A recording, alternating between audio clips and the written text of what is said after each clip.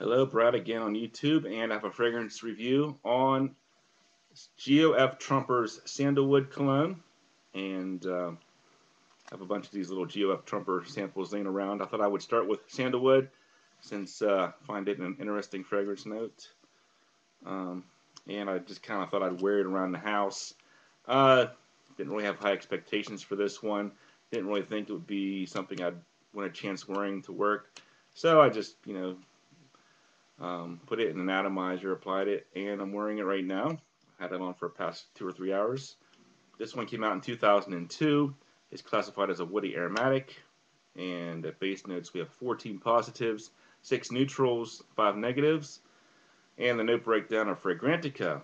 We have sandalwood, patchouli, amber, vanilla, jasmine, geranium, and rose. And if you go over to Basenotes, they do mention things like um, spices, clary sage, things like that.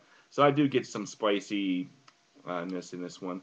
To me, it's basically just uh, like an old school barbershop um, spicy vanilla fragrance.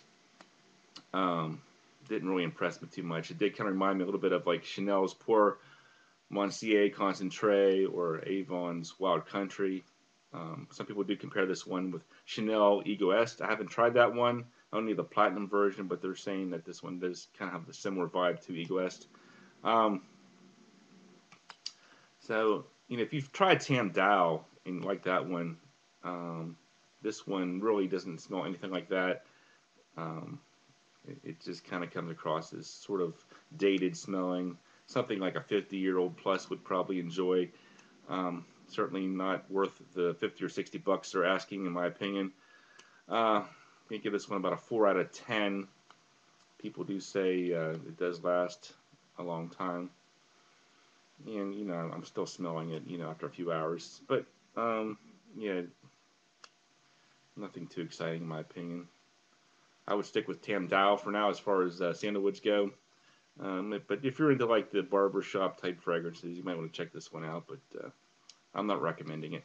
So uh, thanks for watching, guys, and I'll talk to you later.